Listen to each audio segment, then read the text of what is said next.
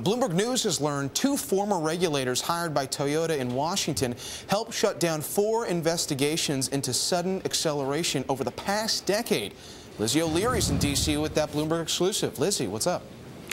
Yeah, John, so there were eight investigations into sudden acceleration from 2003 to now. This team worked on four of them, and each of those four was shut down. We've got video of them. You see them there. Chris Tinto on the left, Christopher Santucci on the right. This is video we got from a lawsuit against Toyota. Both men were hired directly from NHTSA, and while other companies talk to NHTSA a lot, Toyota appears to be the only one who hired former NHTSA staffers for this role. They interact directly directly with their former colleagues. That's something that has raised a lot of concern, particularly among these lawyers who are suing Toyota now.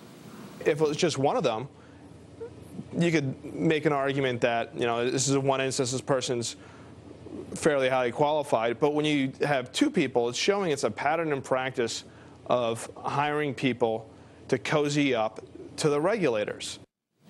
So here are the investigations these two men worked on. You see them there into some of the earlier model year Camrys, 02 and 03. Then they also worked on the 06, 07 Camrys uh, and the 06, 07 Tacomas. Now, all of these investigations were ended after Santucci and Tinto talked about NHTSA's investigations with their former colleagues. They said in these depositions that they talked about the scope of the investigation, conveyed their concerns, and NHTSA's recognition of those concerns ultimately led the agency to reduce the scope. In one of these depositions, Christopher Santucci says, look, you can say it worked out well for Toyota.